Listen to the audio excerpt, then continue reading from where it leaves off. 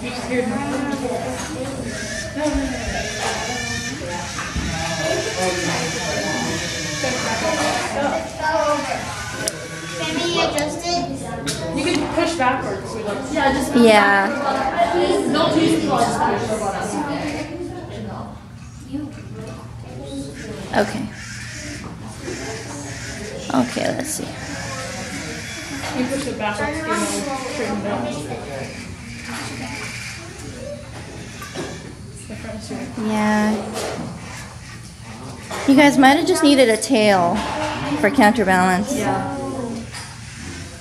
Go forward. Very nice, you know, combination dual movement. And, you know, I got to give you guys kudos for that.